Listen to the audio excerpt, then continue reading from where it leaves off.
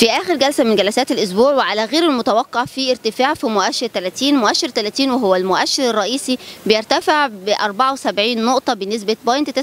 من 100% ليستقر عند نقطه ال 15318 آه، بالرغم من إن ده كان غير متوقع بالنسبة بالنسبة لنا لأن كان في انخفاضات حاصلة في البورصات الأوروبية والبورصات العالمية في جلسة أمس واللي أثرت بشكل واضح على بورصتنا في نهاية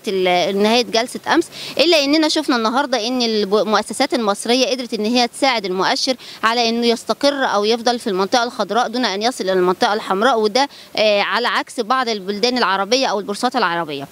آه، شفنا النهارده إن فئات المتعاملين الأجانب والعرب كانوا آه، في تخوف أو في جني أرباح من من ناحيتهم خاصة الأفراد إلا إن المصريين والمؤسسات كانوا متجهين للشراء بشكل واضح بأحجام تداول تعتبر أحجام تداول عالية تخطت المليار أو تخطت كمان المليار و200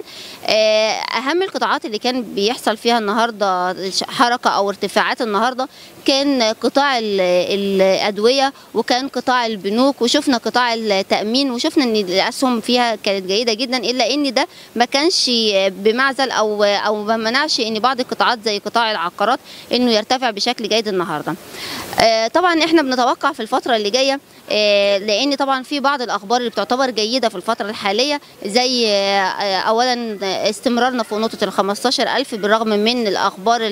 الأسواق العالمية كمان بسبب انخفاض الفايدة